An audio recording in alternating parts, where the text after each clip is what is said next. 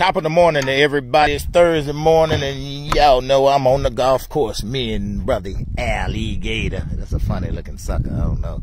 Looked more like a damn mole than an alligator, but hey, they told me it was alligator, and I bought it. So, oh yeah. everybody's a sucker.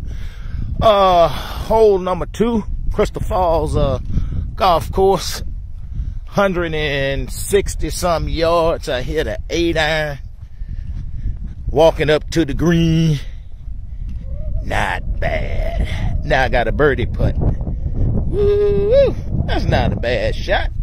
Even though I mishit it, but it's all good. Hit and uh, don't forget when you're playing golf, you have to repair your divot. So always keep you a divot tool. Let me get my divot right here. Oh yeah get my putter and put it down. And mash it down. Put it down. Yeah, right there. Y'all stick around. I'll let you know the outcome of the putt. I don't have nobody to hold the camera for me, so we'll see.